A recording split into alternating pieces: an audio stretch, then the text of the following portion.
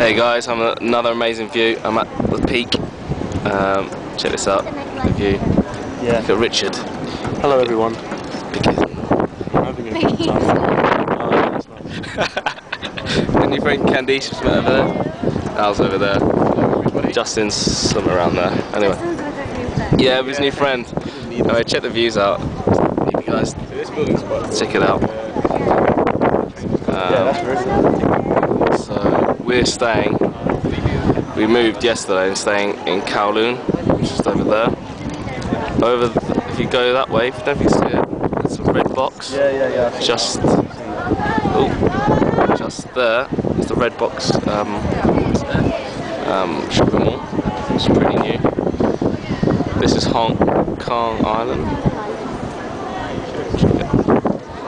So, so that's okay. So it's pretty amazing out here.